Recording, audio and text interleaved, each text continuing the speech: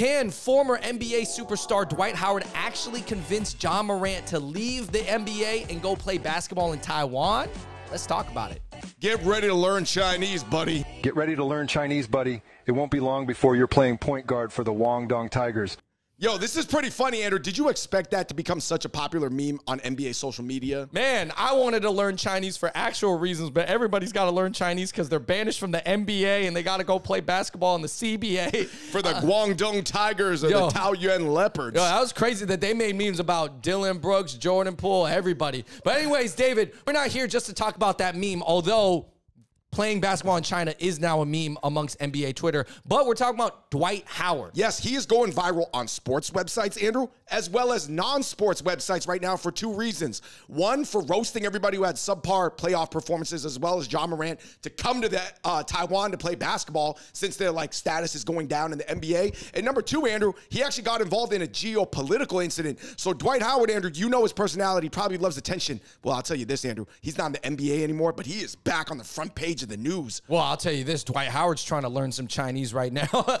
Ni hao, it, who had uh, all right, everybody, please uh, hit that like button. Check out other episodes of the Hot Pot Boys because this has to do with being Asian and the NBA, and you know we love it. So let's get into the comments section, David. Real quick, I got to provide some quick backstories, Andrew. Dwight was getting older, right? He was trying to get a spot in the NBA. He couldn't do it. He made an unconventional choice. He went to the T1 basketball league in Taiwan, not the CBA that Marbury went to, right? And uh, then he really increased, increased Taiwan basketball's exposure exponentially in one season. Right, especially him and Jeremy Lin. Jeremy being in the P plus league, uh, Dwight being in the T1 league. So both leagues kind of had a star of their own. Yeah. Right. And uh, actually, eccentric NBA All Stars, Andrew, they play an outsized role in like geopolitical relations between the East and the West, but we're gonna get into that later. Andrew, the first comment was uh, Demarcus Cousins will be playing in Puerto Rico. Can Dwight and Demarcus Cousins still be in the NBA right now? Like, could they help a team guard Jokic in the post? Long story short, I think physically and skill wise, maybe they could still be on a roster, but I think attitude wise, a lot of people don't want to deal with Boogie Cousins. And then Dwight might be a little slow, to be honest. Yeah, they would hunt him and put him in the pick and rolls uh, on defense. Somebody said uh, Taiwan is a great place to play pro sports, man. It's like a non evil version of China to me. Clean, modern English is spoken widely, great manners. I love it. Dude, I'll play some T1 League highlights down below. It looks fun, man. The cheerleaders are going viral. They're shooting air out of the top of the uh, shot clock. It right, just- right. All the players are on the bench doing the little eye blast Yeah. celebrations. It's, it's a really small league, um, but it seems like they're having fun. For sure, for sure. I mean, they're bringing that beachy funness that Taiwan is known for. Somebody said, Dwight, you're already rich. Why dunk on a bunch of short Asians over in Taiwan, huh? Why do you want to do it? Guys, I'm not gonna lie. A lot of highlights from street ballers or or dribbling coaches always come from like shaking like Asian kids Oh, trying man, to in. America and Nah, in Asia. Nah, even shout out to Bone Collector and shout out to all those guys. But yeah, Professor. yeah, Professor. They shake a lot of Chinese guys. But anyways, um, regardless of that fact, I guess uh, Dwight. He's it- think about it. You're a you're a former NBA superstar. You still want to play basketball. Your kind of image and branding in the NBA kind of got a little bit like embarrassing. Like people started to make fun of Dwight Howard. And listen, he gets to be the biggest man on campus in Taiwan. Right, he People gets to be. Kawhi in Canada. Yeah, and he's just like he's fun, he's fun loving, he's trying to learn the culture a little bit. So pretty much, I think they're accepting him, and he has a lot of fans. And by the way, guys, we're going to get into it later. Andrew, eccentric NBA personalities Dennis Rodman, Marbury, Dwight Howard. For some reason, they can just bridge the gap. I don't know, just more than you think. Um, Dwight, obviously, he also had a geopolitical incident where he called Taiwan a country in a promotional video for a politician. This is the thing that made him go viral again, Andrew, even on like Fox News. Right, because a lot of people who were into the NBA might have heard about Dwight going to Taiwan if you kept up with it. But this reached like mainstream geopolitical news. Even people who don't care about basketball, Right. right? Just care about like the China US issue. Somebody said, come on, guys, let's be honest. Dwight is over in Taiwan because he is probably getting with so many Asian girls. This was a real comment, I guys. know. I- you know, it's a little bit un PC, but yeah, I, I had to pick it out. Dwight can probably, yeah, just fly in all his friends and whoever he wants. But yeah, I don't know. I mean, who knows? Somebody said, uh, you know, let's talk about Ja Morant's situation, Andrew, because obviously Dwight also went viral for tweeting at Ja Morant saying, come on, Ja, come on over to Taiwan because Yeah. they're about to kick you out of the NBA, but make sure you just leave that thing at home. Right, because Ja is going through these issues of him holding guns and and people don't know what's gonna happen to Ja Morant in the league. I'm sure I, I think he won't get kicked out of the NBA, but he could get suspended. But the joke is that Dwight's like, yo, Ja Morant, why don't you come to Taiwan? You know, because basically you gotta leave the NBA. Yeah. I mean, I think realistically with the Ja Morant situation, uh, I do not think he's going to go play in Taiwan. I do not think he would play in the CBA. No. Uh, I think it would be way more likely if he did get kicked out, he'd go play a year in Puerto Rico with DeMarcus. I mean, I don't, I don't think he would do that either, but I'm just saying Puerto Rico sounds fun. Um, I'd say realistically, I think Ja's going to get at least a 16 game suspension, 2x of the 8 game suspension he got last year.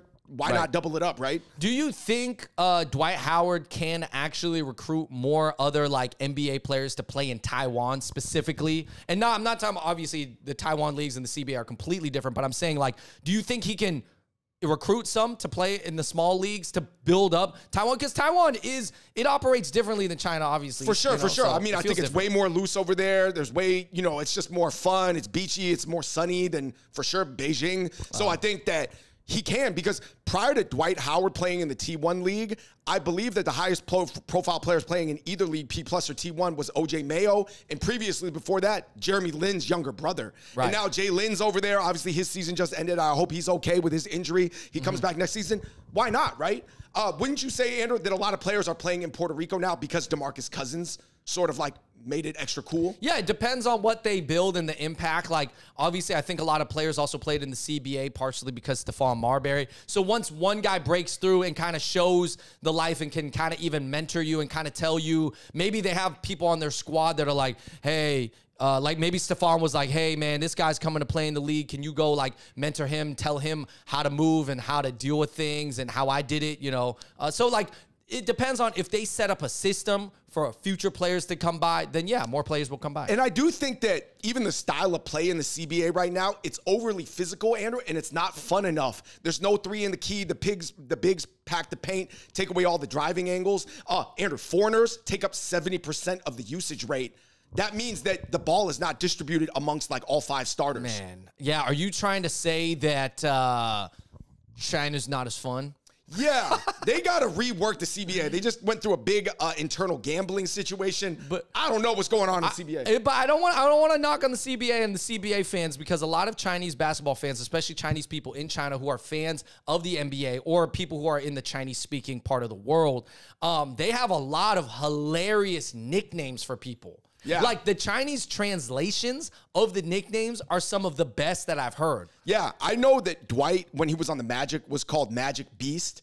And then when he had a real downside year with the Lakers, they called him Evil Baby. Yeah, because he was even- like whining like a baby. They even used to call Michael Jordan gang boss. And they used to call James Harden free throw Mamba because he would get to the free throw line so much. And anybody, Mamba would be obviously like based off of the Kobe. So anybody who could do that one thing really good got the Mamba tag. yeah, they called Andrew Wiggins uh, strength conservation Mamba because Yeah. it looks like he's not playing hard, And right? they called Ryan Anderson standing around Mamba because he would stand around at the three point line. And they called Isaiah Thomas, the shorter one, 175 Mamba, right? Because he was only 175 centimeters tall, but Yeah. he was a beast. Yeah, he was the greatest of that. Yeah, and then uh, so it's just man, I, there's this whole like thread that I was think I just it kind of comes down to how much like Chinese speaking people love the NBA. They love it, like bro. I cannot tell you between the Chinese speaking countries, bro, they love the NBA. Like, Yo, it is it. literally the closest thing I could describe it to is real life Dragon Ball Z. You know how in Dragon Ball Z everybody's like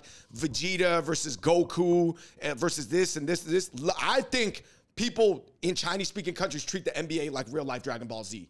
bro. It, and it's it's I and I think the way they look at because it's almost like the NBA players are kind of their like superheroes Yeah. or they're cartoon characters, Comic like, book heroes. They're they're they're superhumans in a way. Like they know they're human, but they just are flying through the air and doing all these cool things that they I like. still remember when you're like Superman, Chao Ren.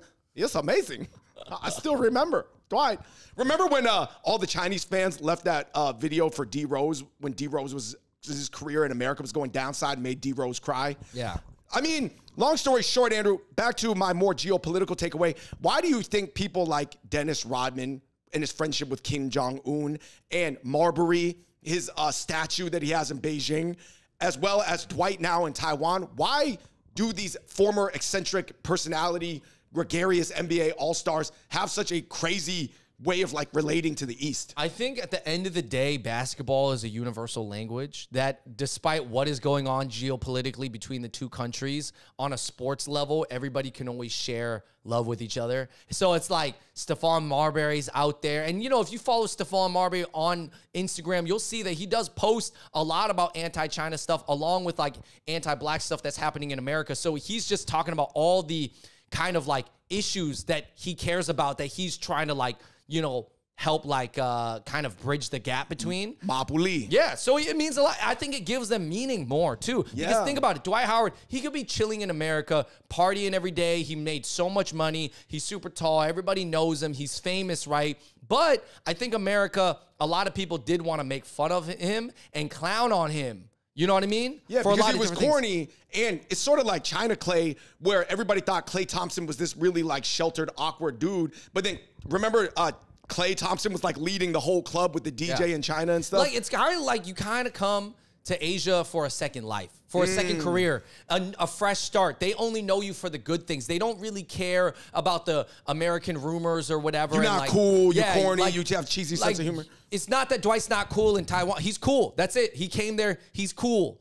And he and as long as he is open and nice to people and respectful to the culture and plays hard, they're gonna like him. I think there needs to be more research done into why these NBA All Stars like can just bridge the gap. All right, guys, in the comments down below, let me know which other NBA players you realistically think would actually go to play in the CBA or in Taiwan League. Let me know. Ooh, I'm trying to think of someone. Ja Not- Morant's not going. All right, yeah, Ja's not going. Pat Bev.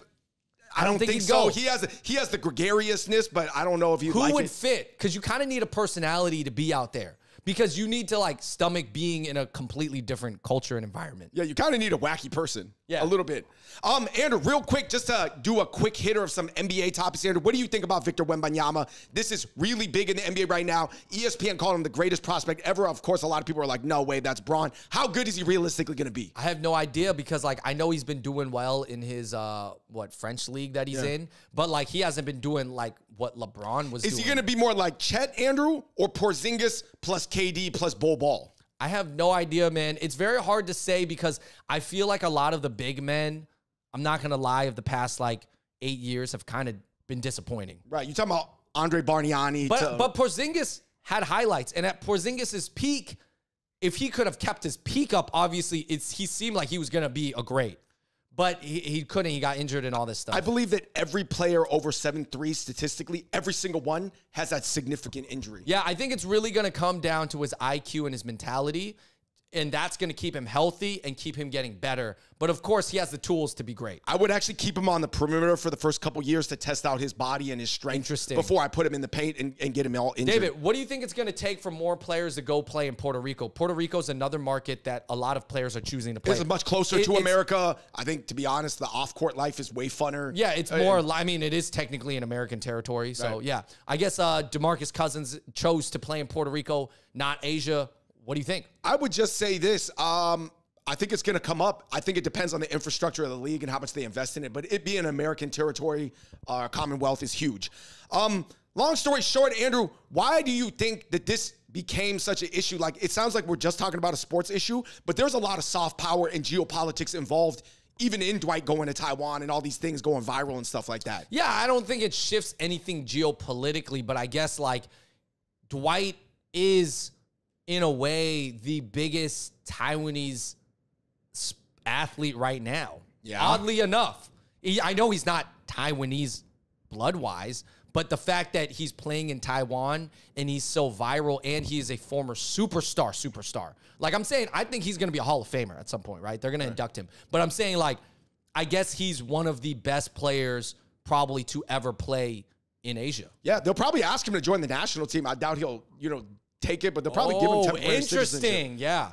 Anyway, guys, basketball diplomacy in Asia, guys, more research has to be done on this. And I think these old white geopolitical guys, they need to get on this, man. I don't think they understand basketball. Is this the new trend? Hey, just Let us know what you think in the comment section below. Let us know what you think. Dwight going viral, Ja's going viral. You better learn Chinese, buddies going viral. Just a lot of stuff with Asia, Chinese speaking countries, and the NBA going viral right now. Let us know what you think in the comment section uh, below. Until next time, we the Hot Pot Boys. We out. Peace. 你好，我我是 Deleon Brooks and 我我很高兴 uh, joining the Sichuan. Uh, uh, these memes are hilarious. Oh, the Sichuan blue whales. yeah, the Sichuan Blue Whales. All right, guys. Till next time, we out. Peace.